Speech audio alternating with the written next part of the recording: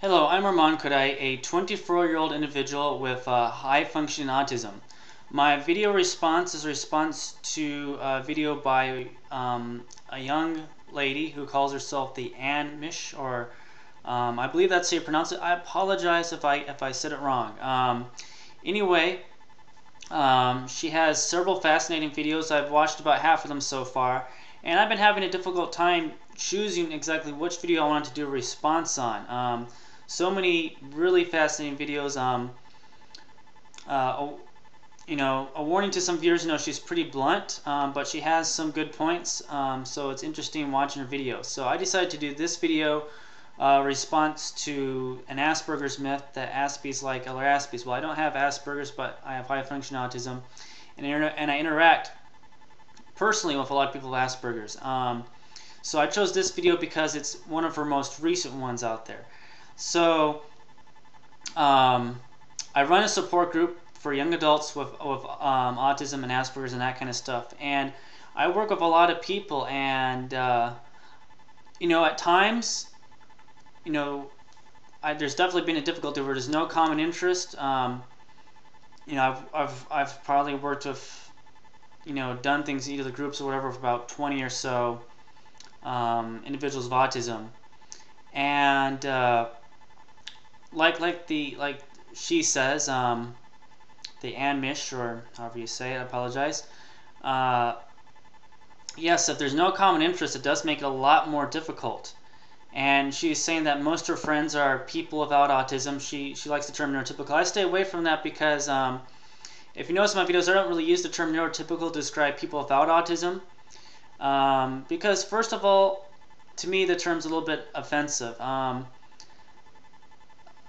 I, I, to me, when especially when someone with autism says it, you know, it sound to me, I feel like that that it's like someone with autism feels almost gives like a sense of superiority. You know, why why neurotypical? I just say everyone else, whatever. It doesn't matter. But um, so I do have I do interact with, and I've had a lot of friends that were not on the spectrum, and uh, I definitely made friendships with people on the spectrum, and some of them have come over a period of time from getting to know them through my groups and stuff. Um, but I guess when you're with people for a long time, you start to notice the subtle things. I, you know, especially with autism, you know, um, and and for me, well, I guess running the groups and everything, I have an obligation to to help these people out as much as possible, you know, and to help them develop social skills and friendships and, and all that kind of stuff, and I work on that, and and so.